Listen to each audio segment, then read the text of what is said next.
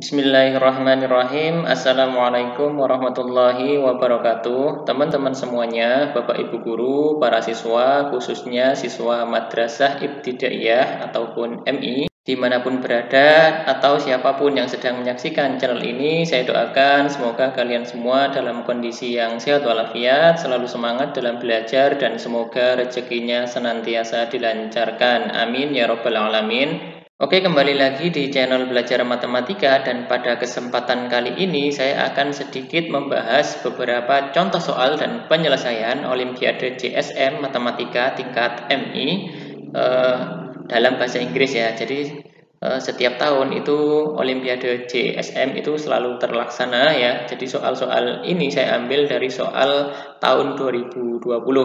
Nah, biasanya soal CSM itu terdiri dari 40 soal dan yang 10 persennya itu menggunakan bahasa Inggris. Jadi semoga soal-soal ini bisa sebagai latihan bagi kalian semua yang akan maju Olimpiade CSM Matematika tahun ini. Semoga bisa menjadi bahan pembelajaran bagaimana cara e, menyelesaikan soal-soal tersebut. Oke, langsung saja kita menuju soal yang pertama.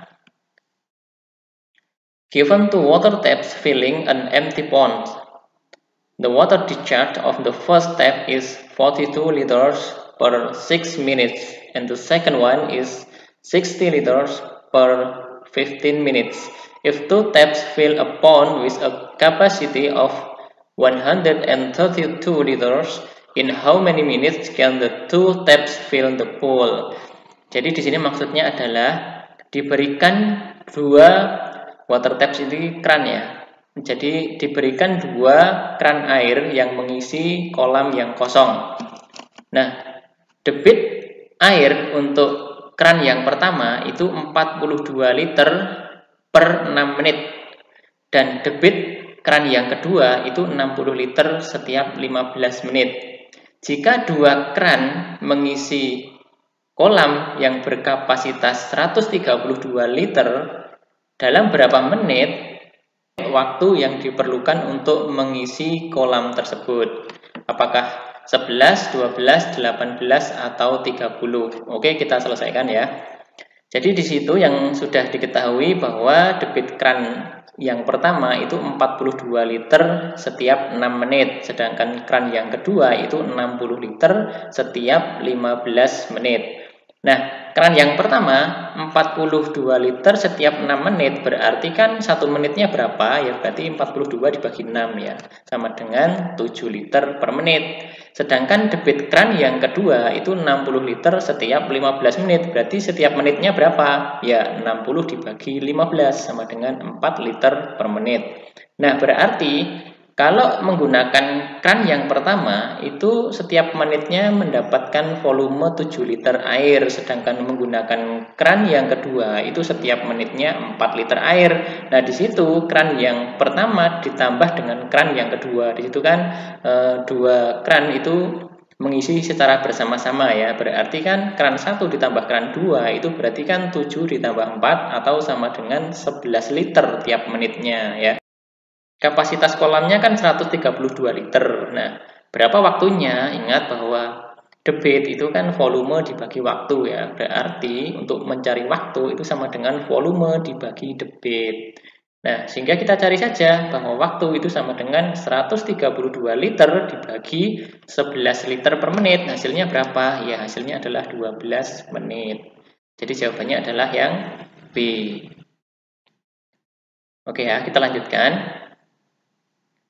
There are 37 students in a class where 11 of them are fond of mathematics. 16 of them are fond the science but not fond the mathematics. And 3 there of them are fond both. The number of students who are not fond of both mathematics and science are bla bla bla students. Jadi maksudnya begini ya. Ada 37 siswa dalam kelas di mana 11 di antara mereka itu menyukai matematika, 16 di antara mereka itu menyukai IPA tetapi tidak menyukai matematika, dan tiga di antara mereka itu menyukai kedua-duanya. Nah, banyaknya siswa yang tidak menyukai matematika maupun IPA itu ada berapa anak? Nah, di sini kan pilihannya apakah 10, 16, 21 atau 29. Oke, kita selesaikan ya.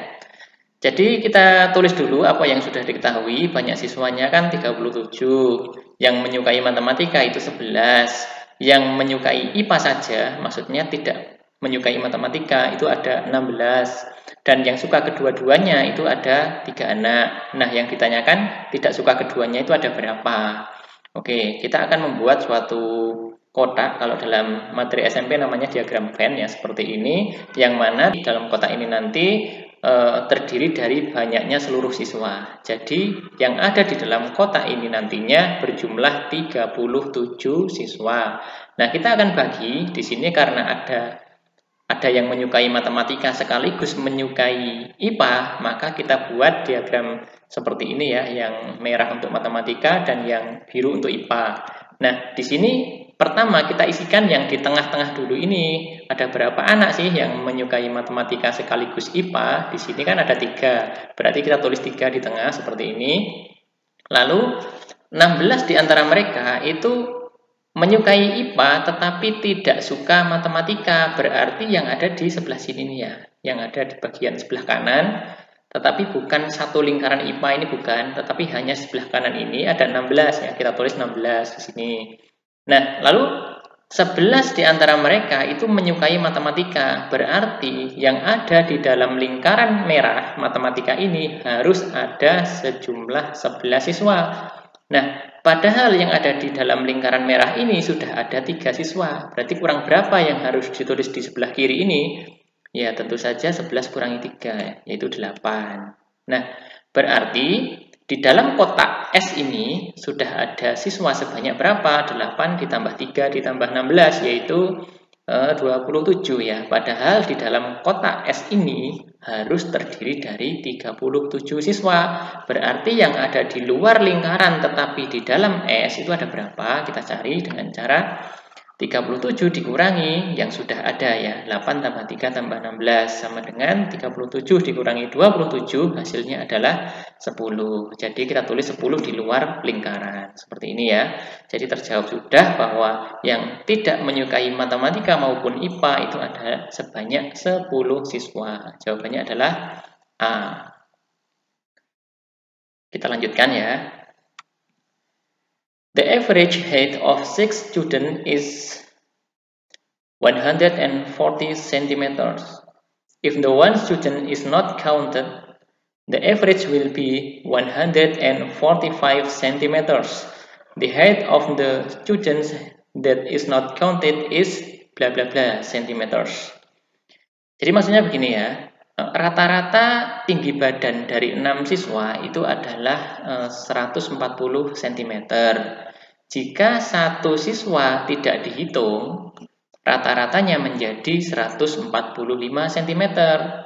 Nah, berarti tinggi badan dari siswa yang tidak dihitung tersebut itu berapa? Oke, apakah 110, 115, 120, atau 122,5? Jadi gini ya, kita selesaikan. Misal tinggi badan siswa yang tidak dihitung itu N. Kita misalkan N, karena itu yang akan kita cari ya. Kita misalkan sebagai N. Berarti kan eh, rata-rata e, tinggi badan 6 siswa dikurangi satu anak atau satu siswa itu menjadi rata-rata dari lima anak. Nah, kita e, sepakati dulu bahwa rata-rata semula, rata-rata dari enam anak, setelah satu anak pergi menjadi rata-rata yang baru, yaitu rata-rata dari lima anak. Sedangkan kita tahu bahwa e, rata-rata e, itu jumlah data dibagi banyaknya data. Nah, berarti kan e, 6 kali 140 itu berarti jumlahnya tinggi badan dari 6 anak itu dijumlah itu kan berarti kan 6 dikali rata-ratanya ya. Rata-rata awal dikali 6 itu men menunjukkan e, jumlah dari ketinggian 6 siswa tersebut. Setelah dikurangi si anak yang tidak dihitung tadi yang sudah kita misalkan sebagai n kemudian dibagi 5 kenapa dibagi 5 karena kalau satu anak sudah tidak dihitung berarti kan siswanya tinggal 5 ya. Lalu dibagi 5 hasilnya adalah rata-rata yang baru yaitu 145 kalau sudah demikian berarti kan jika yang di atas tanda per ini kita anggap sebagai satu kesatuan, berarti kan seperti ini logikanya. Berapa dibagi 5 hasilnya adalah 145. Berarti yang ada di atas tanda per ini bisa kita cari dengan cara 5 dikali 145. Ya kan? Setelah itu kita kalikan yang sudah bisa kita kalikan. 6 dikali 140 itu adalah 840 ya kan? Sedangkan 5 kali 145 itu sama dengan 725. Nah, 840 dikurangi berapa agar menjadi 725? Berarti N bisa dicari dengan mudah, yaitu 840 dikurangi 725. Hasilnya adalah 115. Jadi, eh, tinggi badan siswa yang tidak dihitung tadi adalah 115 cm. Jawabannya yang mana? Yaitu B. Oke, kita menuju ke soal yang terakhir. The number of students who do not go to schools is 12 and a half percent. As many as 33 one third percent of those them are sick. 50% have family interest and the rest are without information. If the total number of students is 48, Then the number of students not going to school without explanation are bla bla bla persen. Jadi maksudnya seperti ini ya. Banyaknya siswa yang tidak pergi ke sekolah itu 12,5 persen. Sebanyak 33 sepertiga persen dari mereka itu sakit ya. Jadi yang 33 sepertiga dari yang tidak berangkat itu karena sakit. 50% dari mereka itu mempunyai urusan keluarga ya, kepentingan keluarga dan sisanya itu tanpa informasi. Sisanya itu tanpa informasi. Jika banyaknya siswa seluruhnya atau total itu ada 48, maka banyaknya siswa yang tidak pergi ke sekolah tanpa penjelasan atau tanpa informasi tadi itu ada berapa persen? Oke, apakah 1 9 per 11, apakah 2 seper 12, apakah 3 seper 3, atau 4 seper 6. Oke, kita selesaikan. Jadi total siswa itu kan 48. Nah, kita cari dulu total siswa yang tidak berangkat. Yang tidak berangkat sekolah berarti kan 12,5 persen dari 48, yaitu 12,5 eh, per 100 persen itu kan per 100 ya dikali 48 ini kan bisa kita coret ya 12 eh, setengah dengan 100 itu bisa kita coret. Itu kan sama seperti 125 per 1000 ya sama saja ya. Kita coret hasilnya adalah 1 dan 8 lalu 48 bagi 8 itu kan 6 ya. Sehingga 1 kali 6 hasilnya adalah 6 jadi total siswa yang tidak berangkat itu ada 6 siswa. Nah dari 6 siswa itu kan masih terbagi-bagi ya. Ada yang sakit ada yang urusan keluarga ada yang tanpa keterangan. Kita Nah, hitung dulu satu persatu ya. Jadi yang sakit itu kan 33 sepertiga persen dari 6. Nah, 33 sepertiga persen itu kan sama saja dengan sepertiga ya. Atau kalau e, pecahan campuran itu kita jadikan pecahan biasa, ini kan menjadi 33 kali 3 itu kan 99 ya. 99 tambah 1 kan 100. Sehingga 100 per 3 persen. 100 per 3 persen kali 6. Nah, persen itu kan per 100 sehingga menjadi 100 per 3 per 100 kali 6. Itu kan sama saja dengan sepertiga ya. Sepertiga dikali 6. Hasilnya berapa? Ya, 2. Jadi, eh, dari 6 siswa yang tidak masuk itu, 2 itu karena sakit. Lalu yang ada urusan keluarga, itu ada 50% dari 6. 50% dari 6 itu berapa? Ya, setengahnya 6, yaitu 3. Dan sisanya di sana diterangkan bahwa sisanya itu tanpa informasi. Lah, sisanya itu berarti berapa? Yang tidak masuk kan 6. Yang sakit kan dua, yang urusan keluarga kan tiga. Berarti yang tanpa keterangan berapa ya? Tinggal kita cari aja sisanya ya. 6 dikurangi 2 tambah 3 sama dengan 6 kurangi 5 sama dengan 1. Jadi ada sebanyak satu siswa yang tidak berangkat sekolah tanpa keterangan. Tapi pertanyaannya bukan berapa siswa, tetapi berapa persen. Nah, satu itu berapa persen dari 48 siswa? Ya, kita cari dengan Cara seperti ini yang tanpa keterangan itu 1 dari 48 dikali 100% sama dengan berapa? Bisa kita coret ya, dibagi 4 semua. Hasilnya adalah 12 dan 25 sehingga kita tinggal membagi aja 25 dibagi 12 berapa? 2 dan sisa 1 ya. Berarti 2 seper 12 persen. Jadi banyaknya siswa yang tidak masuk ke sekolah tanpa informasi itu ada sebanyak 2 seper 12 persen. Jawabannya adalah B.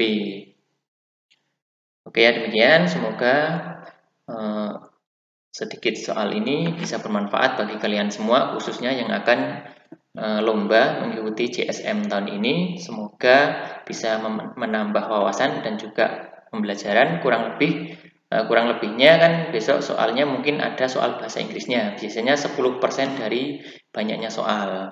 Oke ya demikian. Semoga bermanfaat. Jika masih terlalu cepat atau masih banyak yang kurang bisa dipahami silahkan diputar ulang video ini agar lebih bisa dipahami atau ditanyakan di kolom komentar. Dan mohon maaf juga apabila dalam pembacaan soal dalam bahasa Inggris itu mungkin kurang fasih ya. Untuk itu mohon dimaafkan Terima kasih sudah menyaksikan. Sampai ketemu lagi di video-video berikutnya. Tetap semangat. Assalamualaikum warahmatullahi wabarakatuh.